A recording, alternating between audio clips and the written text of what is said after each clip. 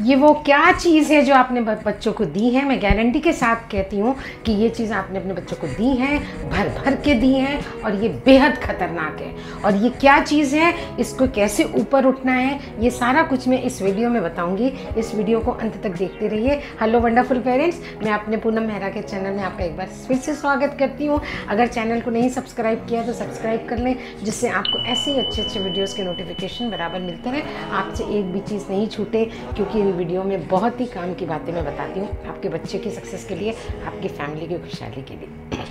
तो ये चीज़ है जो आपने अपने बच्चों को भर भर के दी है और दुनिया में दे रही है, वो है गिल्ट गिल्ट की भावना मतलब एक अपराधी होने की भावना, एक दोषी होने की भावना। वो अपराध किस बात का? वो अपराध मंच, दुनिया जैसा चाहती है, वैसे स्कूल में मार्क्स ना आने का हाई परसेंटेज नहीं आने का हाई ग्रेड्स नहीं आने का वो एक अपराधी की भावना हम अपने बच्चे को देते हैं और अपना बहुत काबिल बच्चा होते हुए भी उसको दिन रात पर्टिकुलर चीज़ में मार्क्स ना आने की वजह से परफॉर्म ना करने की वजह से, बाहर दुनिया तो उसे बार बार वो गिल्ट में डालती है कि तुम्हारे मार्क्स नहीं आ पाते हैं, तुम ये नहीं कर पाते हो, तुम वो नहीं कर पाती हो, तुम्हें आता नहीं है, तुम क्या करते हो, तुम बेकार हो, तुम बेकार लड़की हो, लड़के हो, ये कह कह के दुनिया उनके अंदर गिल्ट भर देती है। बच्चा खुद को अपराधी महसूस करने लगता है, खुद को दोषी महसूस करने लगता है। और सारी काबिलियत होने के बाद भी वो परफॉर्म करना, चाह के भी परफॉर्म नहीं कर पाता है। एक टाइम जब तक छोटा रहता है बच्चा, तब तक तो सुनता है और सहता रहता है। लेकिन जैसे ही उसका थोड़ा बड़ा होने लगता है अथॉरिटी आने लगती है, आठ साल, दस साल, तब वो रिएक्शन दिखाने लगता है। अपने अंदर जो उसका गुबार भरा होता है ना, वो निकालने लगता है। इमोशंस पे तो कोई काम ही नहीं करता है बच्चों के। ऐसे बच्चों से व्यवहार किया जाता है, चाहे बाहर की दुनिया हो, स्कूल ट्यूशन हो, चाहे माँ बाप घर के हो। ऐसे बच्चों से व्यवहार करते हैं। जैसे वो तो एक ना काट का पुतला है, एक पपेट है, जैसे चाहो वैसे न चाहो उसके अंदर इमोशंस है ही नहीं भावना है ही नहीं। ऐसा नहीं होता है। बच्चे के इमोशंस बहुत मायने रखते हैं।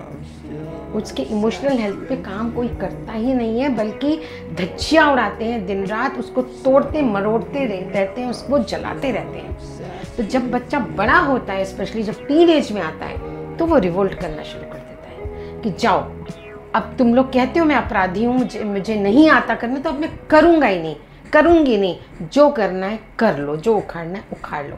ये उसका एटीट्यूड हम बनाते हैं। बच्चे के अंदर काबिलियत बहुत भर भर के कूट कूट के भरी हुई है। लेकिन हमें उसे उजागर करना नहीं आता है। इट्स एग्जैक्टली लाइक दैट कि अगर किसी से गलती हो गई है, कोई दोषी है, कोई गुनाहगार है, उसको सज़ा दी है, उसको जेल में बंद रखा है, उसको और भी भारी से भारी सज़ा दी है, लेकिन जब वो छूटता है, तब उसको दुनिया फिर भी दोषी दोषी दोषी दोषी कहती रहती है। उसको फ़र्क तब तक नहीं पड़ेगा। जब तक उसके घर वाले, उसके अपने चाहने वाले, उसके दिल के जो नज़दीक लोग हैं ना, अगर वो उसमें आत्मविश्वास भरेंगे, वो उसमें उत्साह भरेंगे, एक उमंग भरेंगे, एक जोश भरेंगे कि कोई बात नहीं, जो हो गया, तुम्हारे अंदर काबिलियत है, तुम कर सकते हो you are important for me and हम देखते तुम्हारी भी इमोशंस तुम्हारे जो सजेशंस हैं इमोशंस हैं, तुम्हारे ओपिनियंस हमारे लिए मैटर करते हैं, तुम हमारे लिए इंपॉर्टेंट हो।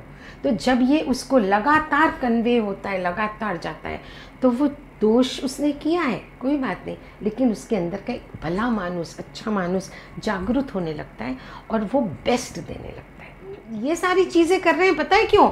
ना चाहते हुए, ना जानते हुए बच्चे की भले के लिए कर रहे हैं, लेकिन उस भलाई में कितना बड़ा भुगतान बच्चा भुगत रहा है और हम भी भुगत रहे हैं, ये रियलाइज़ नहीं कर पाते हैं। तो अब आपको करना क्या है? दुनिया को रखो साइड में स्कूल कॉलेज ट्यूशन सबको साइड में रखो। सिर्फ़ और सिर्फ़ बच्चे की भावनाओं को समझो इमोशंस को समझो। और कम से कम दुनिया को तुम नहीं रोक सकते, लेकिन माँ बाप खुद पे तो काम कर सकते हैं ना। माँ बाप को बच्चा जब घर में उनके साथ हो तो उसको उंगली ना उठाएँ। उसकी कमियों को उजागर नहीं करना है। उसकी अच्छाइयों पे फोकस करना है। उसकी अच्छाइयों को बार बार उससे कहना है। उसको उत्साहित करना है। उसमें आत्मविश्वास ठूस ठूस कर भरना है। उसके अंदर जोश भरनी है। उसके अंदर उमंग भरनी है। कहते हैं, वन इज़ टू ट्वेंटी का रेशियो चलता है। अगर एक सेंटेंस आपने नेगेटिव बोला है तो उसको कॉम्पेंसेट करने के लिए आपको 20 पॉजिटिव सेंटेंसेस बोलने लगेंगे। बोलने पड़ेंगे। तो अभी तक जो इतना ज़्यादा उसके अंदर जहर भर दिया है, दुनिया ने भी और हमने भी तो उस जहर को हम मेडिसिन में कैसे बदलेंगे, निकाल नहीं सकते। उसको हम एक मेडिसिन स्वीट फ्लेवर्ड बहुत टेस्टी मेडिसिन में हम चेंज कर सकते हैं। उसको ट्वेंटी टाइम्स हमें काम करना होगा राइट हमारा बीज जो एकदम सुखा दिया है हमने, जो इतना खूबसूरत खिल सकता था। लेकिन कोई बात नहीं। अब हम उसे सींचेंगे। अब हम अपने उत्साहित शब्दों से, जोश भरे शब्दों से, आत्मविश्वास भर के उसको सींचेंगे। जब उसके बीज को हम सींचेंगे, वक्त लगेगा। धीरे धीरे वो अंकुरित होगा। और जब अंकुरित होगा, उसमें पत्तियाँ निकलेंगी। वो बड़ा होगा। उसमें और पत्तियाँ निकलेंगी, फूल निकलेंगे, फल निकलेंगे। फिर वो एक विशाल वृक्ष बनेगा। जो ज़िंदगी भर एक कैरेक्टर बन के खुश ज़िंदगी जिएगा और दूसरों को भी खुशी देगा। तो अगर आप चाहते हैं कि आपका बच्चा इस प्रकार से अंकुरित होकर एक विशाल वृक्ष की तरह बढ़े और बहुत खूबसूरत ज़िंदगी जिए तो आज से नहीं, बल्कि अभी इसी वक्त से आप बच्चे के अंदर जोश, उमंग, आत्मविश्वास, उत्साह भरना शुरू करिए। जो भी चीज़ें पीछे जो भी हुआ है उसको छोड़ दीजिए। आपके माँ बाप उसकी दुनिया है बच्चे की। माँ बाप के शब्द बच्चे को बहुत मायने करते हैं। उनके शब्दों पे वो जीता है। उसकी दुनिया है। आपका एक एक शब्द बच्चे को या तो काट देता है, कुरेद देता है, छील देता है, फिर उसको बना देगा।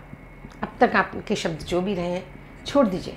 अपने बच्चे के इमोशंस पे काम करिए और उसको उत्साहित करिए। धीरे धीरे आप देखेंगे, उसमें भी अंकुर फूटेंगे। और वो बहुत अच्छा परफॉर्म करने लगेगा, विशाल वृक्ष बन जाएगा। अगर आपको इससे ज़्यादा भी कोई हेल्प चाहिए मेरी तो मेरा वेबिनार होने जा रहा है सात नवंबर 2023 को सुबह सवा ग्यारह से डेढ़ बजे तक। लिंक मैंने रजिस्ट्रेशन लिंक डिस्क्रिप्शन में दे दिया है, उसमें आप रजिस्टर कर दीजिए। या अगर आप इंस्टाग्राम फेसबुक पे मुझे देख रहे हैं तो आपको स्टोरी और बायो में लिंक मिल जाएगा और वहाँ पर आप रजिस्टर करके वेबिनार ज़रूर अटेंड करिए। ये लाइफ चेंजिंग वेबिनार है और आपको बहुत बहुत मदद मिलेगी इस वेबिनार से। सब्सक्राइब नहीं किया चैनल को तो सब्सक्राइब कर लें लाइक कर लें और बेल आइकन दबा दें, जिससे आपको नोटिफिकेशंस मिलते रहें। फॉलो कर लें मेरे पेज को। मुझे कमेंट्स में डालें। अगर आपको अभी भी लिंक समझ नहीं आ रहा है तो कमेंट्स में डाल दें। पी ई ए सी ई पीस और आपको लिंक यूँ मिल जाएगा। ये पीस वेबिनार है और इसको मिस ना करें। मिलते हैं नेक्स्ट वीडियो में। तब तक take care bye I am sure that you can do it thank you so much